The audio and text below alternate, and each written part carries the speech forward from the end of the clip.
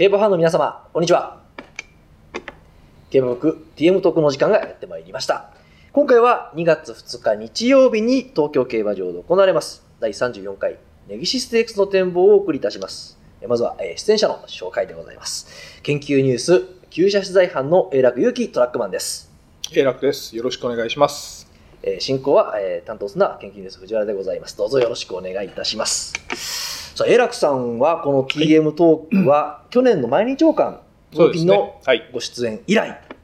で簡単にはあのエラクトラックマンのことをちょっとね紹介させていただきます。え普段は、えー、美穂東レ線で、えー、厩舎取材、萩原厩舎、草厩舎、大竹厩舎などの厩舎取材を担当されております。えー夏の北海道開催では現地の方にも出張されてお仕事をされていると。で前回その出演した毎日王冠はまあ馬単3連単で推奨された回目がもう本戦的中ということで、でぜひね、エラクさんにネギシステークスの関東馬が いれば、あの、いろいろ教えていただけなかったんです。全部関西馬って、ちょっと予想、こういう時って、エラクさんどうです？予想される際って。まあ、関東馬はええ。ね、もともとそのダートのこの路線は少ないんでね、あまりえその、その辺はね、あの、気にはしてなかったですけど、ええまあ、全くいないとなるとね、ね。ちょっとまあ、寂しいものはね、ええここで取材してるものとしては、はい。それはありますけれどもね。なるほどはい。で、私ちょっとね、あの、ひっくり返してね、過去の新聞を。で、エラクさん、あの、えーフェブラリーステークスなんですけれど、やっぱこの、もうやっぱり関西馬が。多くなる、うんなりやすいレースなんですけれども、えー昨年、えー19年ですね、こちらのエラクさん、インティ本命で、本命対抗で、こちら予想を的中しておりまして、2018年も的中。2017年は本命馬が3着だったんですけれども、調べたら、ね、2016年も当たっておりましたんで、まあ、あの、うってつけの方ではなかろうかということで、えー登場割と硬いね、ええ結果に収まってあーそうですね、フェブラリーステークスなんですけれども、えはい、前置きはちょっとなくなりましたが、すみません。えーそれでは、えーラックトラックマンの予想印の方を発表してまいります。はい。えー本命が5番のコパノキッキング、対抗が3番ミッキーワイルド、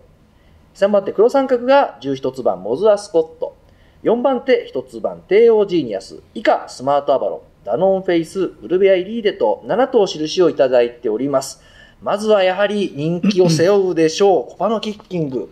皆さん、いかがで。しょうか？あのー昨年の勝ち馬でね、はい。まあ、その時は56キロで、はいえー今回58キロで、はい。えーなおかつ、まあ、う昨年勝った時と同じマーフィー騎手に今回乗り換わりということですね、藤田七子騎手からね。はい。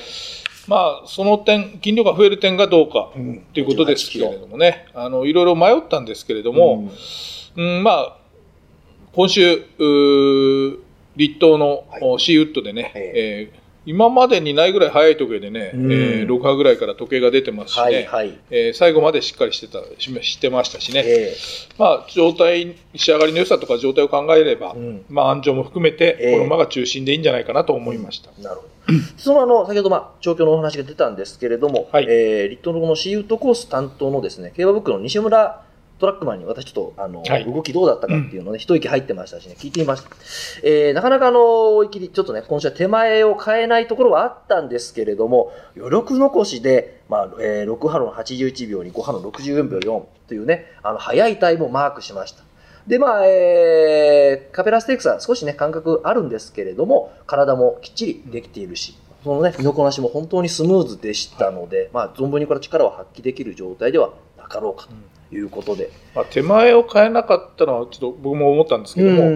あれはまあ馬にちょっと余裕があったんじゃないですかね。なるほどなるほどなるほどうんそう思いましたね。はい。でこれね、あの、エラクさん、58キロを背負いまして、はい。このネギシステークスを、えー連帯した馬、うん過去10年2頭いるんですが、はい。2017年のベストウォーリア、これが2着、うん。2018年のノンコレメが1着で、はい2頭ともそのフェブラリーステークスでも、うん。うん。まあ、連帯はい。果たしているといううん。ことで、うん。まあ、ちょっとねあのいろいろね、あのもう一波伸びるんで、はい。というところもありますけれども、ねえーまあ、鍵にはなるかもしれませんが、はいそのあたりね、ここで、えー構想できるかもやっぱ注目が集まるところだと思います。そして、えー対抗ですね、こちら、えーミッキー・ワイルド。はい。あのーこのレースはね、はいあくまでも中2週先に、うん。えーフェブラリーステークスがあって、その前哨戦ということでね、ね、各馬その辺のこう思惑がどうおこのレースに出てくるかはいはいっていうことがポイントだと思うんですよね。ですから、あの、本当だったら、その、モズ・アスコットあたりをね、うん。まあ、本命にしてもいいかなっていう気もしたんですけれども、あとは実績のある馬たちね、うん。えーワイド・ファラオとかワンダー・リーデルとかいますけれども、はい。まあ、その辺を考えるとね、え。えーえーミッキー・ワイルドが一番いいんじゃないかなと。こうんのレース、まあ、これも久々ですけれどもね、ええーこのレースから力を出せる仕上がりなんじゃないかなと思って、えー対抗にしました。えなるほど。で、このあの、ミッキー・ワイルドの方、これは販路で追い切られたんですけれども、えーミッキー・ワイルド、販路担当の、リット販路担当のニワートラックマンにちょっとお話聞きました。馬体は少し余裕残しなんですけれども、これはまあ体型的なものもあるかと思います。ただね、冬場でも肌ツヤがすごくいいです。伸び足が力強くて、まあ、え休養明けですが、その休養前のね、あの状態と、まあ、遜色ない状態に仕上がっているんではないかということ。で、こちらも高評価でございました。うん。うんさあ、そしてこれ馬券の肝になるのは次、この馬だと思います。モズアスコットお願いします。そうですね、えーあの初、うまあ、G1 ホースがね、ええ。えー初だとということなんですそうですね。けれども、まあ、母系はね、ええーまあ、アメリカ産ですし、この馬自体ね、でアメリカゲットなんでね、はいあのーでフランケル自体、父の、うん。そうだとも国しないので、うん適性は十分あると思いますね。まあ、あの58キロで安田記念を勝ってますしね、はい。あの斤量に関してもお克服してくれると思いますね。ただその目標が先にあるんでね、うんなるほどえーその辺で、えー3番手評価にしたんですけれども、ええええあの今週、ルメール騎手が乗ってね、ええあの販路で追い切られましたけれども、はいまあ、最後、ちょっとこうし仕掛けるというかね、うん強めに追うという感じでしたんでね、うんまあ、その分、ちょっとこう、うん、先を見据えた仕上げなんじゃないかなと思いました。うんなるほど。ただやっぱ怖いですよね、この馬はね。うんなるほど、なるほど。えーそのモズアスコットも販路で追い切られて、ちょっとこれもニワトラック馬に聞きました。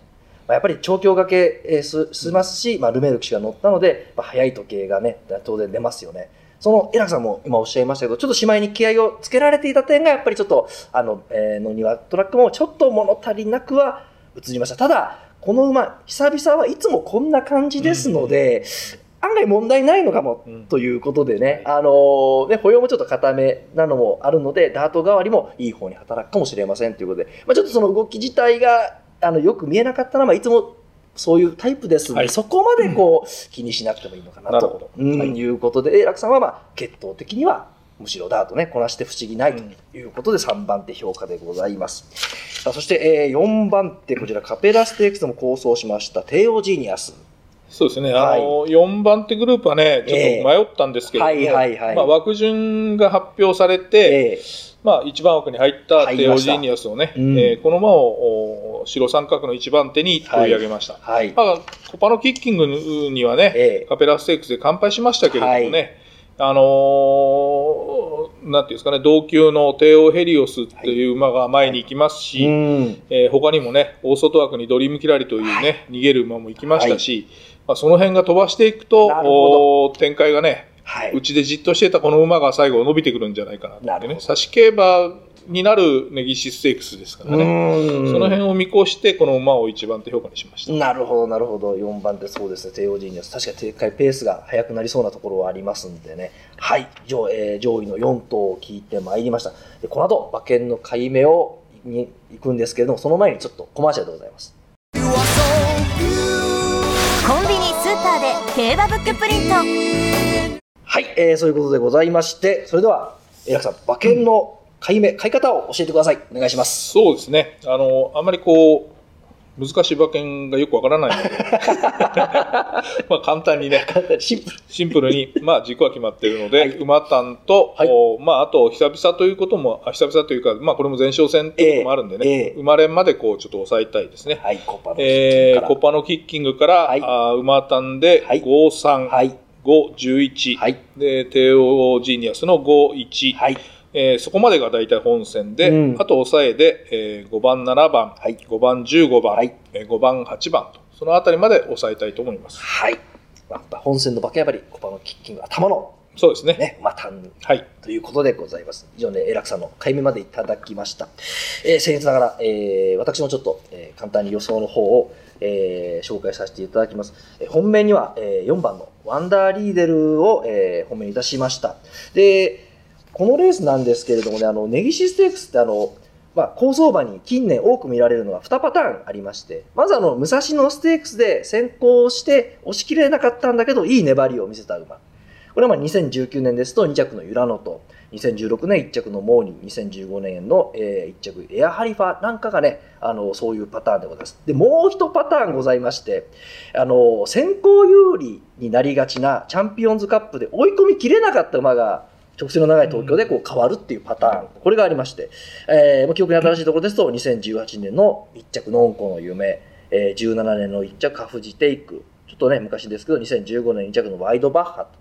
いまして、今年はあの、まあ、ペースも私も結構速くなるかなというのもありますし、後者に当てはまるこのワンダーリーデルですね。あの、チャンピオンズカバーも初距離、それから、まあ、えー、外外ね、回る、回った分のロスがありました。まあ、実際、武蔵野ステークス勝っておりますし、専用にも、えー、実績ありますんで、今回は、えー、きっちり変わってくれるんじゃないかなと思って、この馬を本命にいたしました。えー、で、印の方は、まあ、えー、コパのキッキング、ワイドファラオ、ミッキーワイルド、ドリームキラリ、カフジテイクと打ちまして、馬券のはもう、えー、ワンダーリーデルのまず単勝を買いまして、えー、追い込みきれなくて、まあ、3着でも当たるような、えー、感じで、えー、3連複、1等軸で、えー、印の5頭に